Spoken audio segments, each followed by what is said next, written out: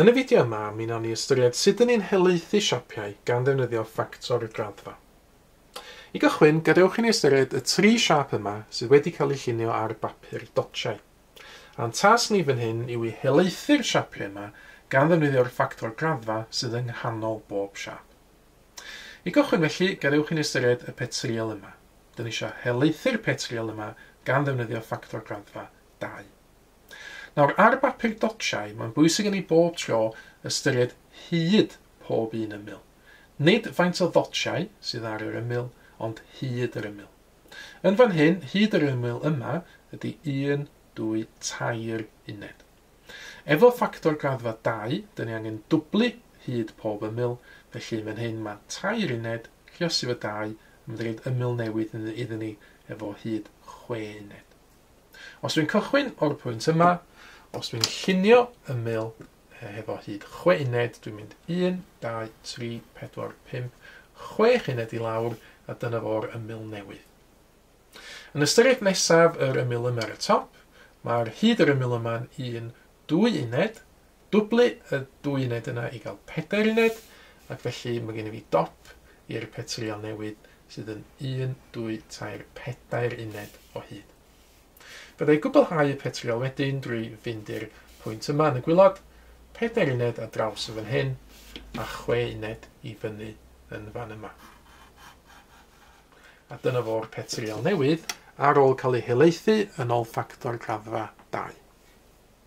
Nesaf, gadewch i ni ystyried y triangl yma, dyn ni eisiau helaethu yn ôl ffactor graddfa 3. Os na i gychwyn yn y pwynt yma, dydyn ni, Dwi'n gweld fod yr uchder yn fan hyn yn 1, 2, 3 uned. Dwi angen treblu hyn, 3 llas i 3 yn 9, felly dwi angen dod i lawr 9 uned ar gyfer y triangl newydd. Felly cyfri 1, 2, 3, 4, 5, 6, 7, 8, 9 uned.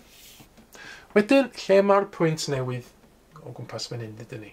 Wel, os dwi'n cychwyn o'r pwynt yma yn y gwylod, dwi'n ystyried wan sut dwi'n mynd i'r pwynt yma yn fan hyn. Wel, dwi'n mynd un yn ydy'r chwith, ac yna un yn ydy fyny.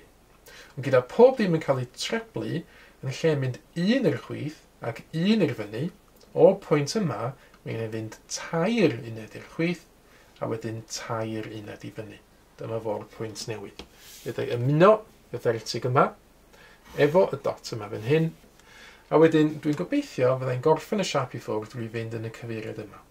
Gwirio hyn Os dwi'n mynd o'r fertig yma i'r fertig yma, mae o'n dwy uned i fyny, un i'r dde, efo pob dim yn cael ei treblu, nid dwy i fyny, ond ac un i'r dde, ond chwech i fyny, a tri i'r dde.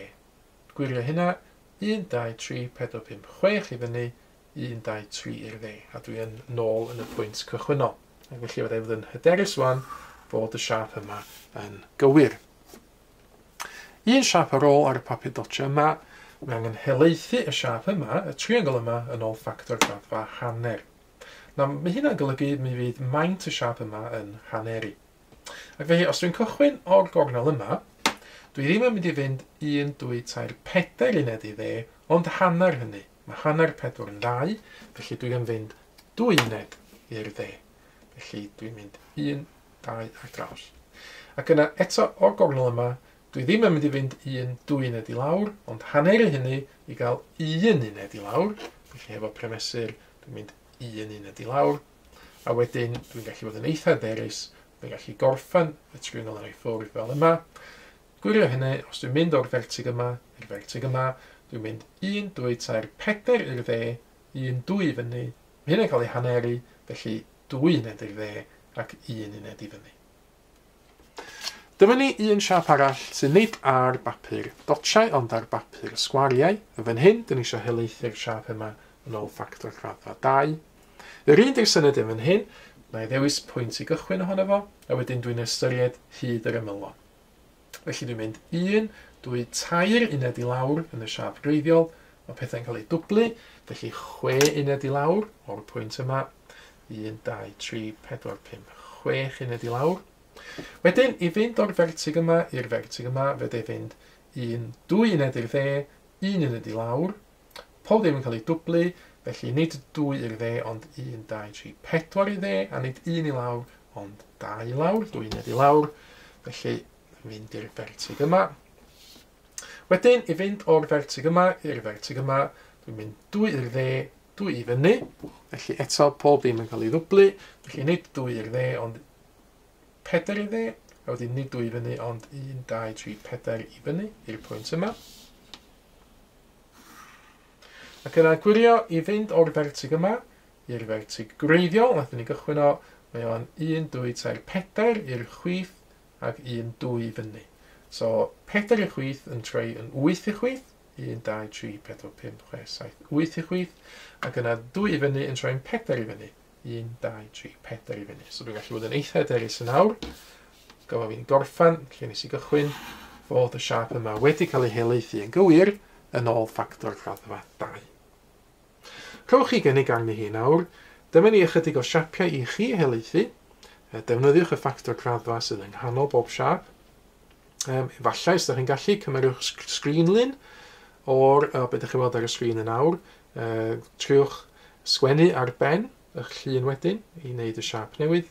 Ac unwaith ydych chi wedi cael cyfle i wneud hynny, e, gwiriwch eich ateb chi wedyn yn erbyn yr ateb cywir sydd yn awr yn cael ei ddangos ar y sgrin.